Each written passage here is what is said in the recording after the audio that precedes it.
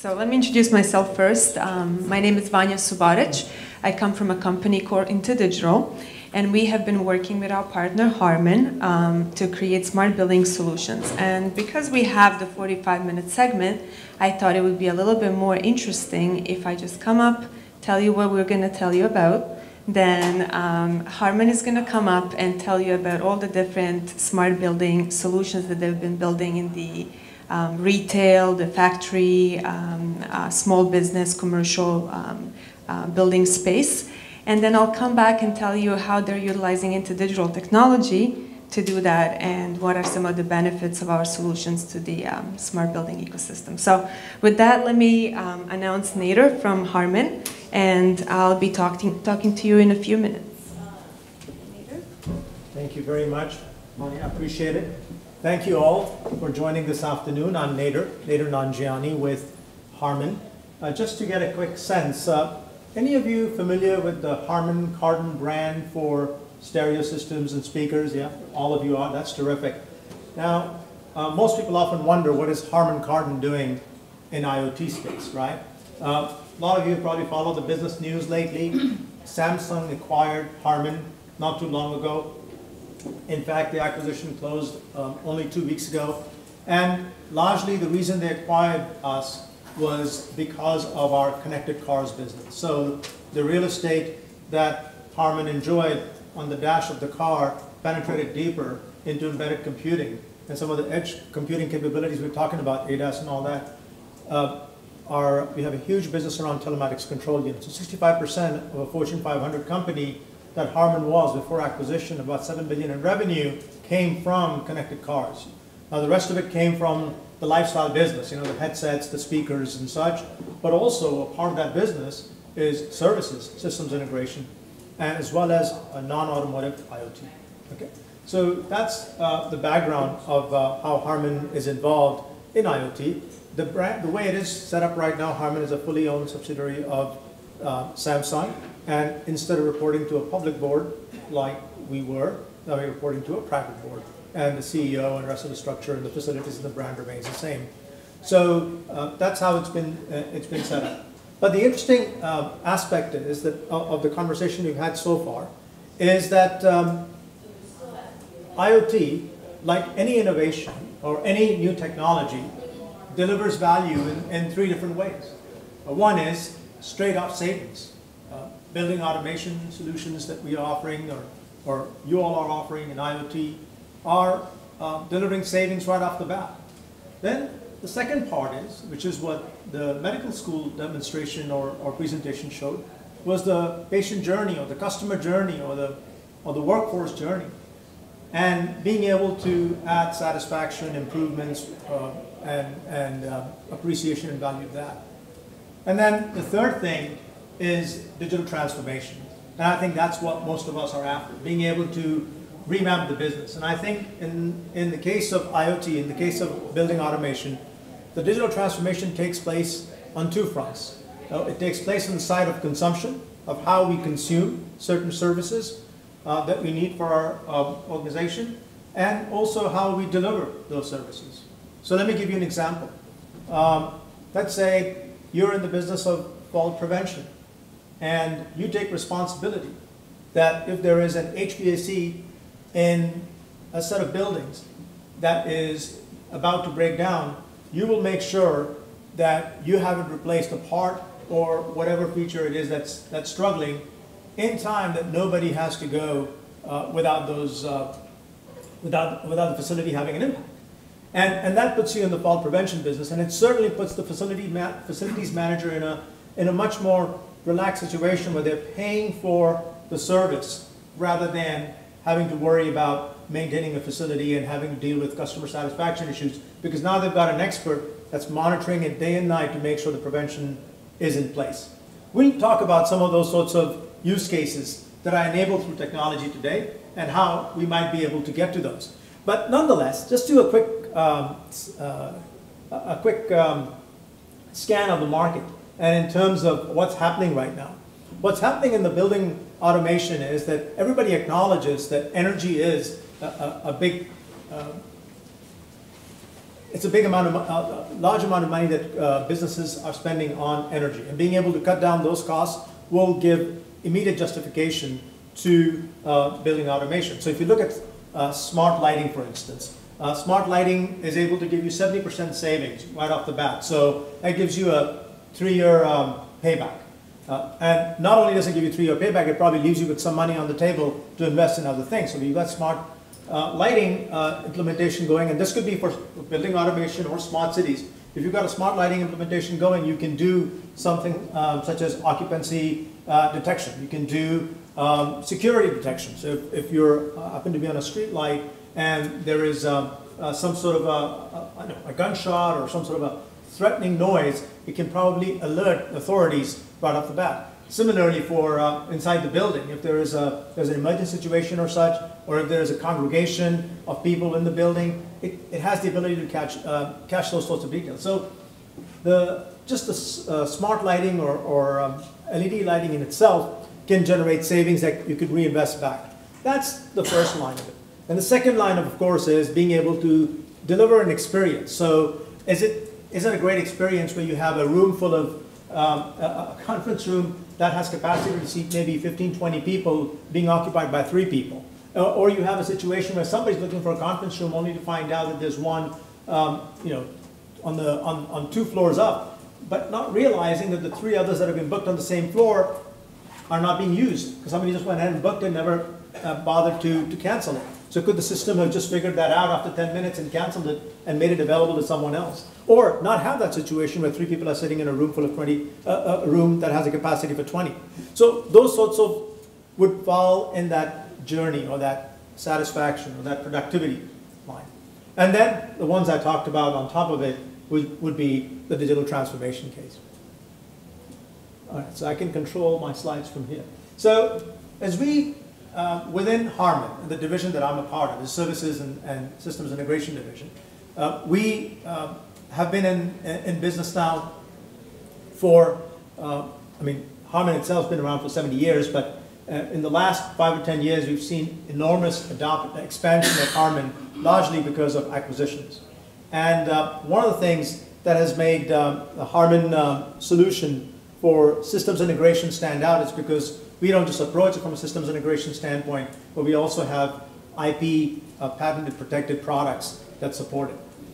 Uh, one of the products that we've been able to pull from the automotive industry into non-automotive is our um, over-the-air update solution. So uh, we did an acquisition of an Israeli company called Red Bend a couple of years ago, and that brought in-house the sort of uh, IoT, uh, sorry, uh, I, um, firmware up, uh, over-the-air firmware update solutions that we do uh, for uh, automotive companies, including Tesla. And these are special because anytime you have a, an IoT device, you have to assume if it's an agriculture situation or a smart city situation, not necessarily building. Buildings are easily connected to Wi-Fi, but if you have a situation where uh, it's bandwidth constrained and uh, memory constrained, and you're trying to send um, a full file over for an upgrade, it's, um, it's going to cause uh, failure, it's going to cause hangups, and then you'll have a truck roll involved. But instead, through comparison differential, if you can shrink the file down to a tenth of the size and then send it over, then uh, there's a greater likelihood that you'll be able to have a successful firmware update. And that's why a lot of the automotive companies prefer that because you cannot always be guaranteed about the bandwidth, the memory involved, and you find that this sort of an over-the-air update solution does far better. So that becomes a part of the parcel that we bring to the fore, along with the gateways. And uh, the analytics, the cloud solution, um, and, and such comes with it. One of the reasons we work very closely with our partners, uh, InterDigital, is because the gateways that I'm about to talk about and a few of the case studies we're going to uh, highlight in these verticals are powered through InterDigital. So quickly talking about a few use cases around small business. Now, a small business, retail, and large building spaces. So we have a um, retail outlet. Harman has a retail outlet on, uh, on Madison, um, uh, on, uh, in New York City, in Manhattan. We call it our Madison store. It's on Madison Avenue. And uh, we are able to tra uh, track footfall and uh, store, store engagement. So imagine, why would footfall be of, of, of value if you have sensors? So imagine you are, uh, you have VMware. We just, at, at Mobile World Congress, we announced a partnership with VMware.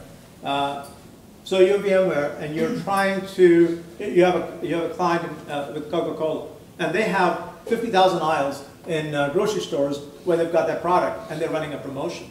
And they can, through these heat maps, see what the pickup is, uh, what the traffic is in the aisle for this promotion and map that to the sales in those stores for that promotion. And if the correlation stands across all 50,000 stores, voila. But if it doesn't, if there's a discrepancy and 5,000 stores are performing differently than the rest of it, 5,000 are performing incre incredibly well, while 5,000 are laggard, then you have a chance to go and take a look at what's working and what's not working. So the, the footfall traffic is done through sensors, and it's done through infrared, not video, which is less intrusive. Now, there are ways that you can determine through video overlays whether or not what kind of demographic is walking through in terms of gender, but just the, the, the footfall in itself and the heat maps mapped to revenue data can present uh, interesting insights. So that's on the retail side. In terms of uh, smart offices, we had a, a, relationship with JLL where we worked with them in, in uh, embedding uh, smart technology within their buildings. And what that allowed them to do uh, was to take a look at the, the, the traffic patterns within the, uh, within the, the buildings, uh, view the common, the use of common use areas, also uh, take a closer look at occupancy rates within different um, tenants, space, tenant spaces, and that gave them an opportunity to go back and propose fresher solutions each year to their tenants and say, look, we see that 30% of your space is underutilized. Either, uh, either your employees are not using it because they have preference for a different area, or maybe you're overspending or you're underspending in this area, you need to beef up on your conference rooms, however that might be. So being able to do those sorts of things with our solutions uh, is, is, something that we've experienced has worked well for JLL and continues to work well for uh, other organizations as well. So coming back to that uh, original conversation about H HVAC, so there is an air conditioning company in the Middle East that we're working with, and there um, they have uh, you know deployed chillers, and uh, they know that in the heat of the Middle East, uh, there's always a, a, a, a, day or two. Uh, there's at least a chiller or two that'll break down each day, and there'll be a truck roll involved. So being able to monitor that preventively and not having to have their tenants or their uh, uh, constituents have to go and bear through the, the agony of, uh, of, of, uh, of, an HVAC breakdown in the, in the middle of summer is something that they're managing. And again, what that does is it takes away their business from being chiller manufacturers and suppliers to being folks who do cooling as a service. And it's that sort of transformation that's enabled when you deploy solutions like these and, with the right uh, amount of effort. Now, smart data centers.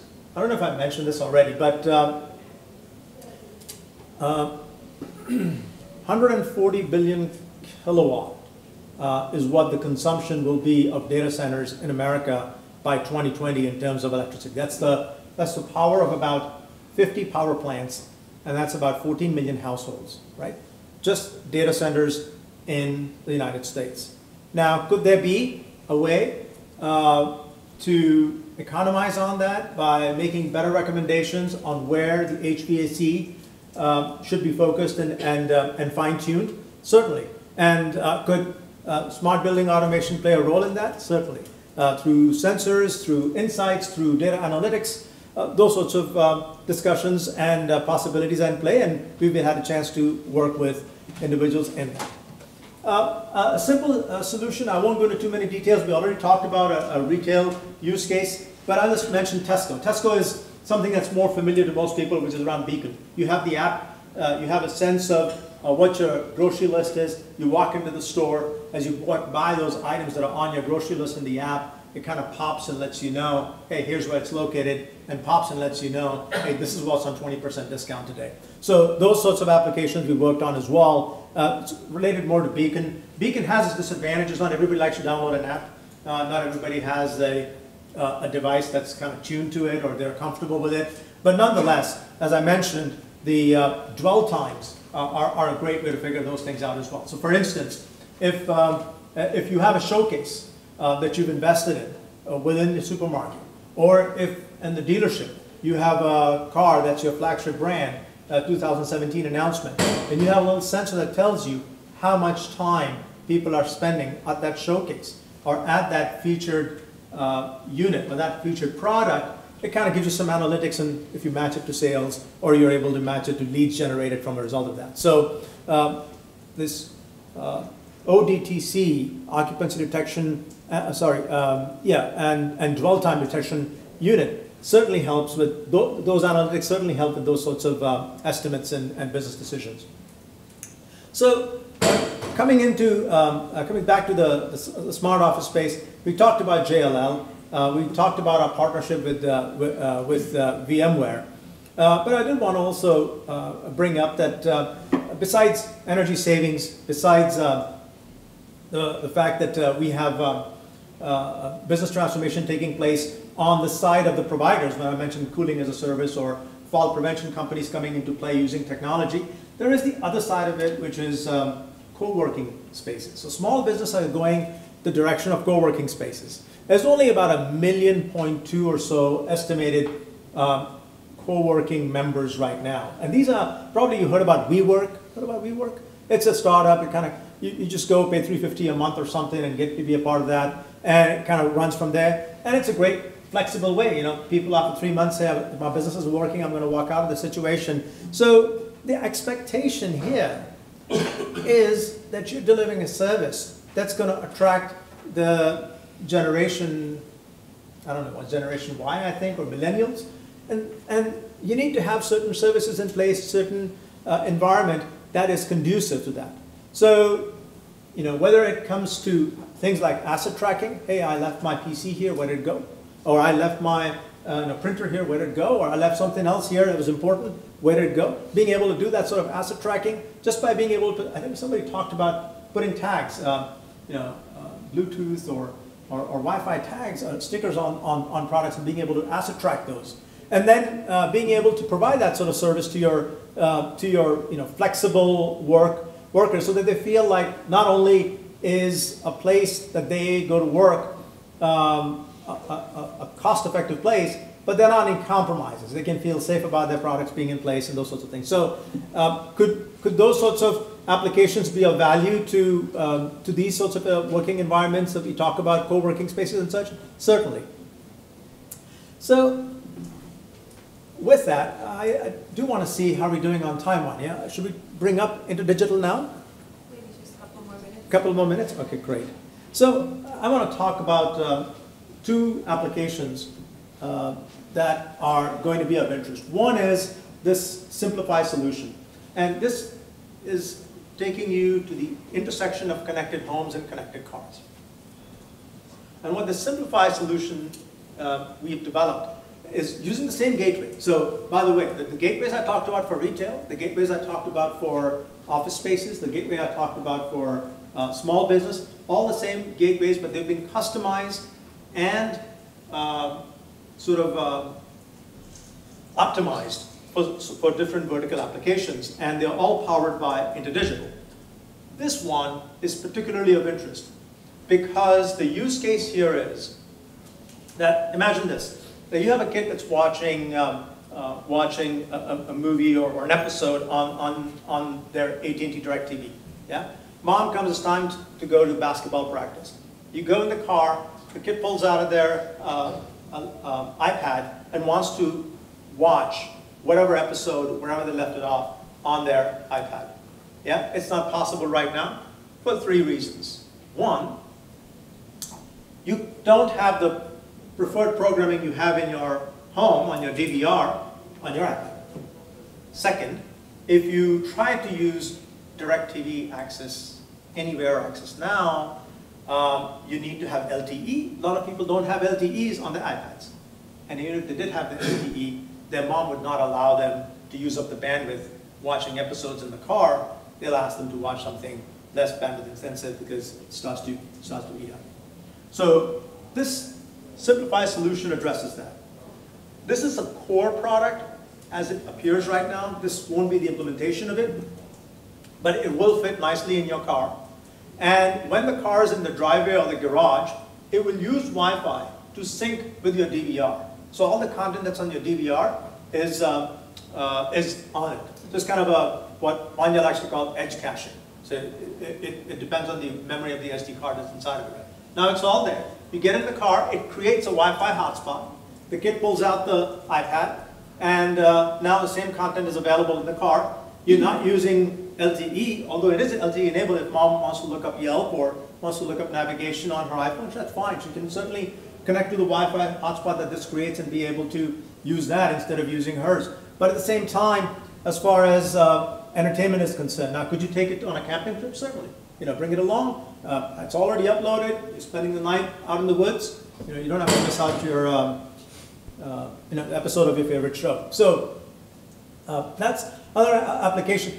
The, the point of telling you the story isn't that it's directly connected to uh, um, to to connected uh, buildings, but the content that's residing within the premises can now be made uh, portable and at the same time uh, be made accessible uh, in ways that are more amenable to the usage of the devices and such.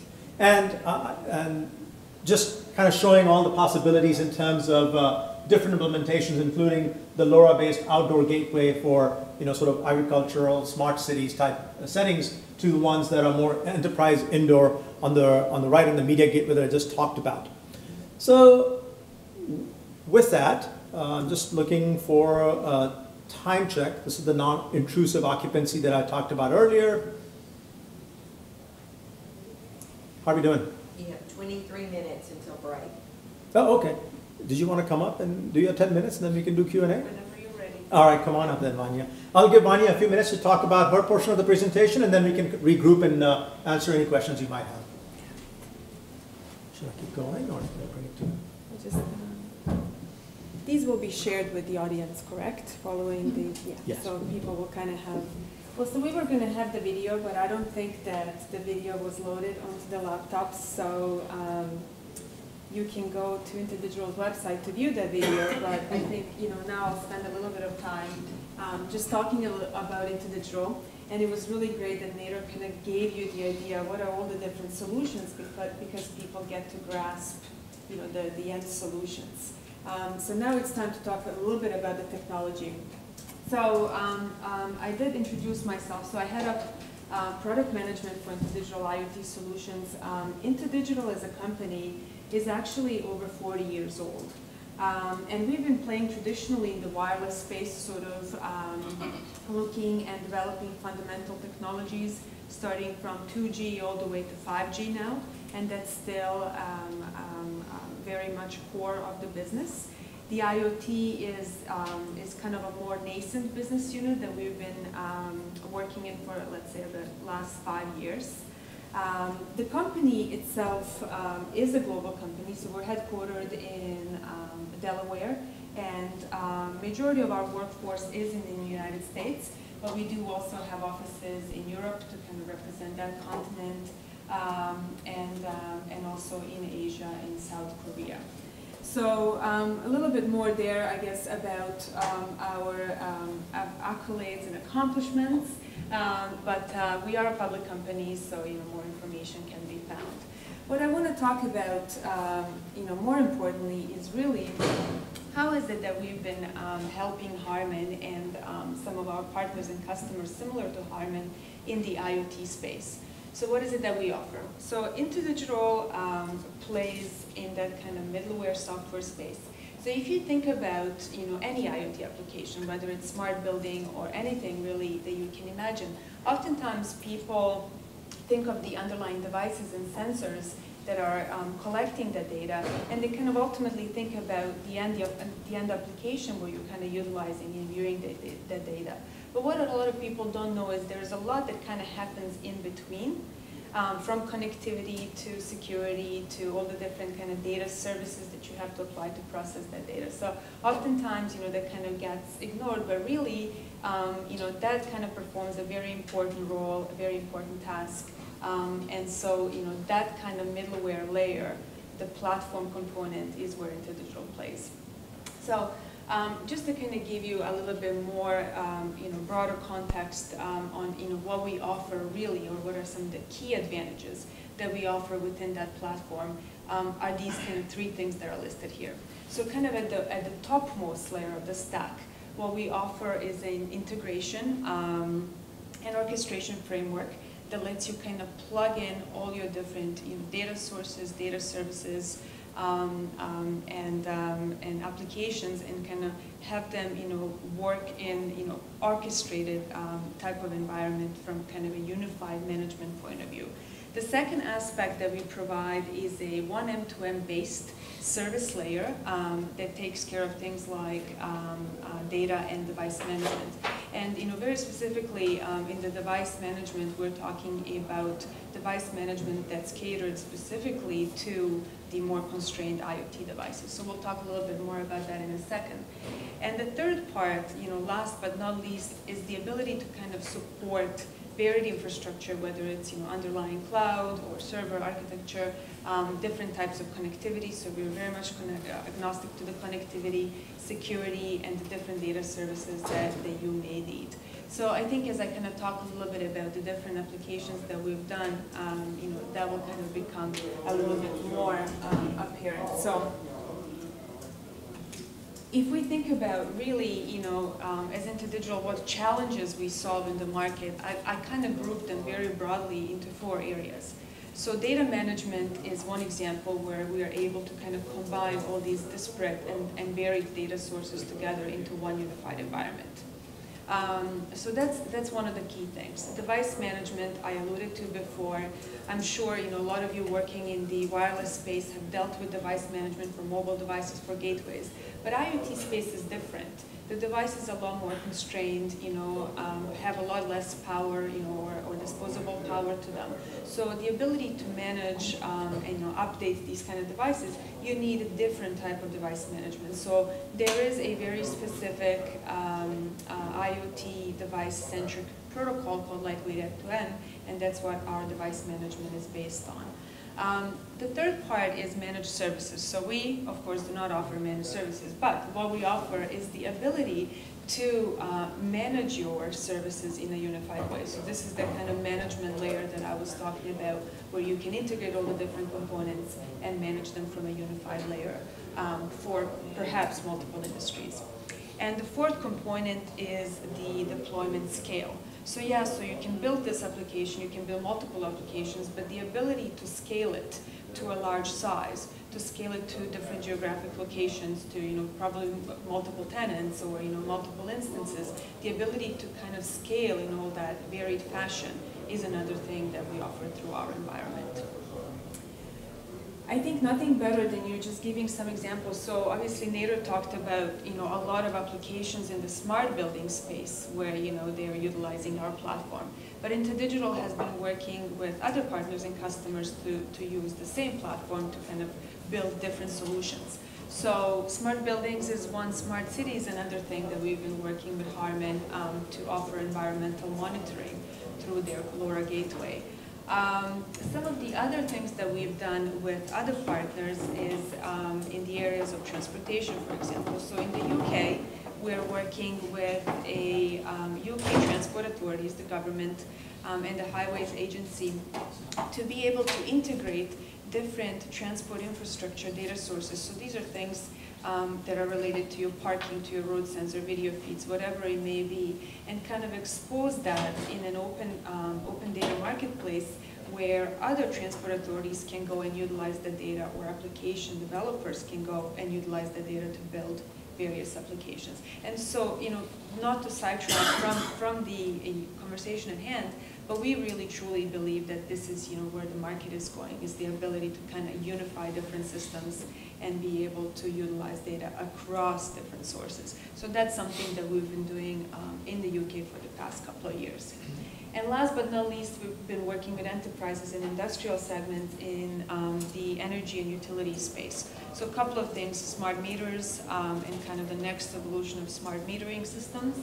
And also the oil and gas environments, which is a little bit more of a nascent field, but nevertheless, they are looking to connect um, their systems outside of the you know traditional um, um, centralized control systems to be able to kind of monitor the structural health of the components in a more um, um, you know predictive or proactive fashion.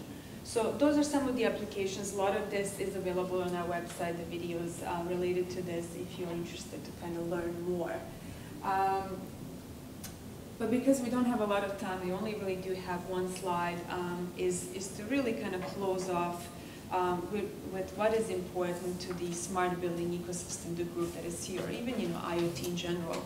So if you think about you know this today, and you know Ron was talking about this before, and you know, some of the other presenters, you know, what we have is a lot of interesting systems, you know, and a lot of systems that do things already, but a lot of them are sort of operating in these vertical silos still, which means that, you know, the systems are not really talking to each other and you can't really truly leverage the potential of, you know, that unified data that you can gather. So wouldn't it be a lot better if we kind of had more of interconnected silos, if you want, so that, you know, that still means we have these kind of specialized systems, but they're a little bit more connected, you know, on a system level so that you can share, you know, different aspects. And so this is really what, you know, we've been working with Harman to kind of try to unify those systems at various levels. So Nader spoke about, you know, there are different gateway devices, right? So all these different gateway devices are kind of looking to unify the you know, sensors that sit underneath these gateways, you know, same form or same gateway, maybe different form factor, but, you know, it's very much kind of unifying at that device level. We are working to unify systems more at the data and service, you know, layer where we're looking to kind of connect different systems, applications, and data services. And we feel that you know that data integration and orchestration layer, um, you know, that helps you kind of achieve that interconnectivity is something that's you know much lacking today, but you know is something that you know, we've been working um, to provide in various segments.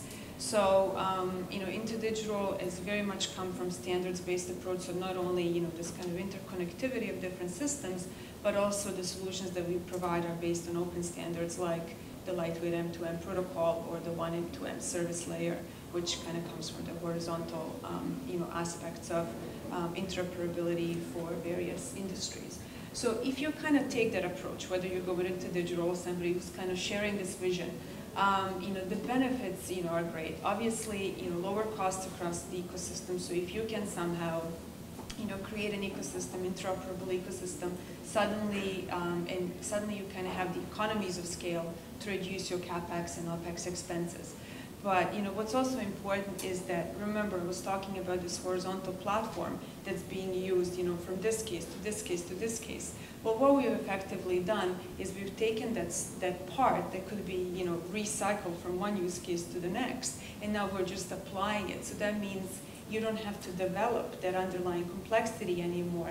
Uh, application developers can actually focus on developing the applications and not figuring out you know, this mystery underneath uh, that, that's called the platform. So, you know, that's another benefit of, of utilizing a horizontal, you know, um, open standard approach larger ecosystem, more choices. So if we kind of agree and go with you know an open standard um, type of approach, then you can kind of mix and match components from different software and hardware vendors, you know, offering kind of a more unified interoperable system. And of course, you know, avoid any kind of single vendor lock-in because you know you may want multiple suppliers, and it's often the case that people do.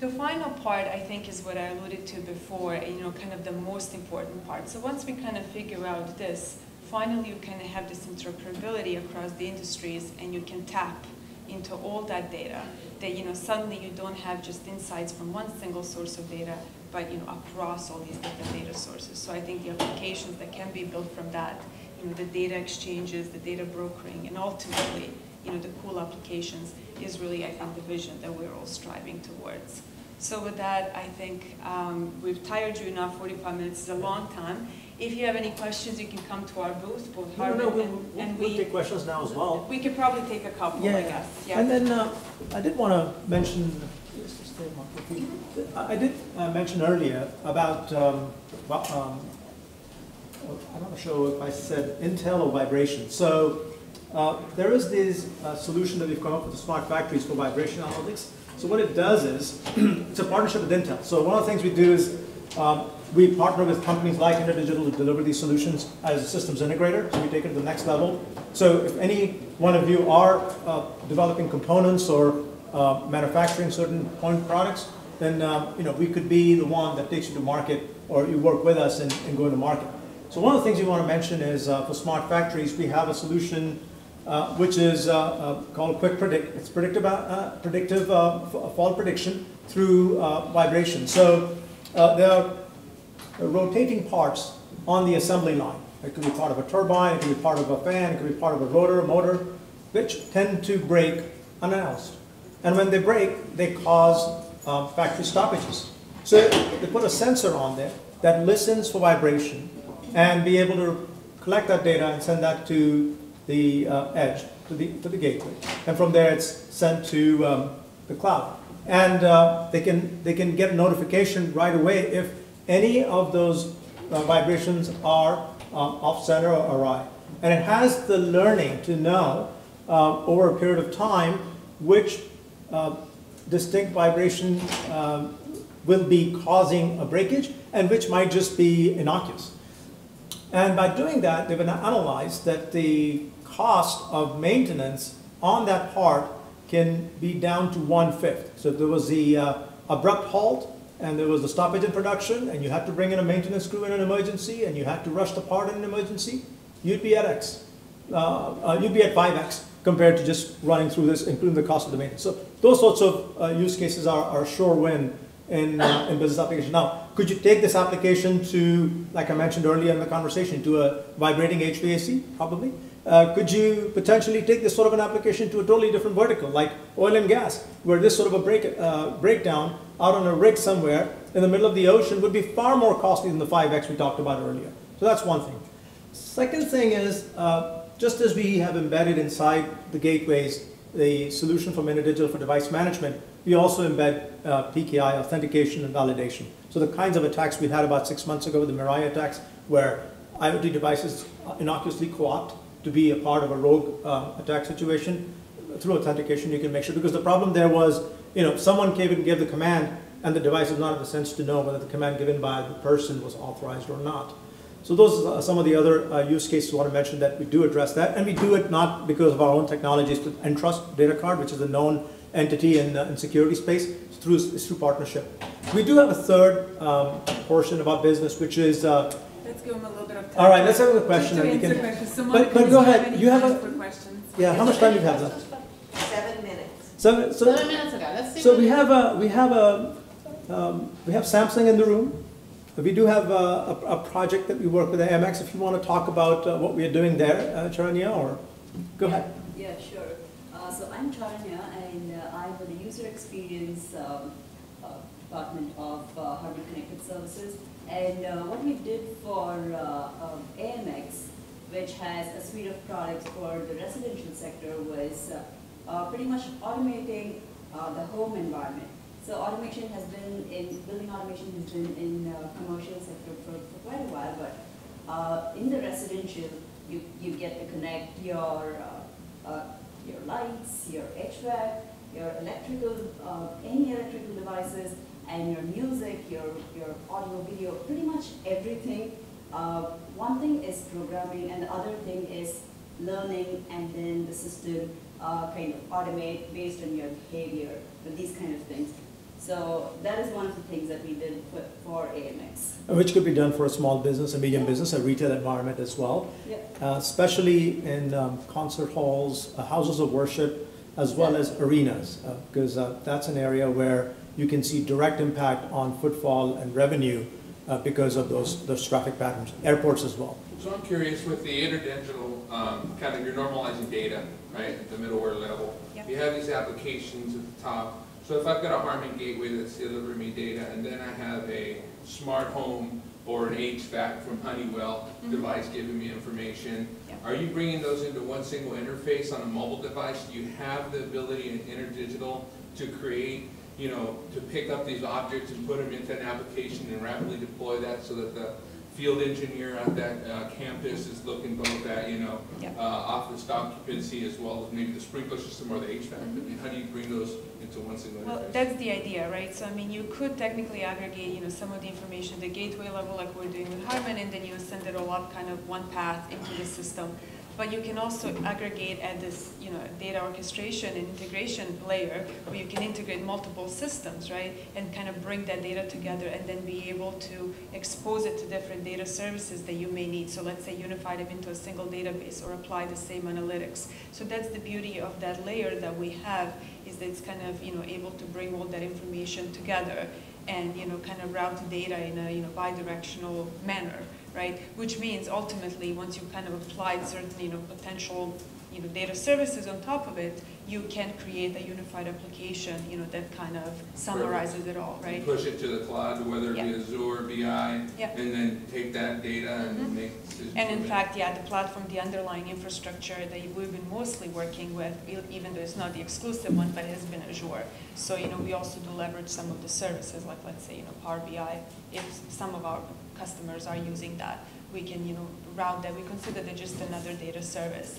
And so the reason this is, you know, easy for us is this whole microservice, you know, architecture that we've created. So effectively, anything, you know, that comes in, you know, any kind of data service that sits is really just effectively a microservice, right, that we kind of have to manage. So um, it's, it's a very interesting solution, and, you know, we've definitely had a lot of interest, especially in these kind of, you know, heterogeneous environments, which I think, as we see, you know, most are, so.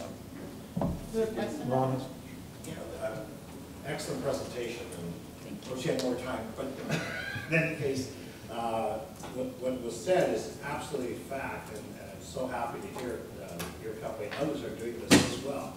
But, uh, and I'm happy you touched on cybersecurity, uh, because quite frankly, that is an area that as we become more in- interconnected, it's great to hear that your company, and a big research piece explained how this can be done not to make everybody exactly bullet, or completely bulletproof, but certainly you would take major steps to, to really armor, you know, a facility, for example, with technology like yours.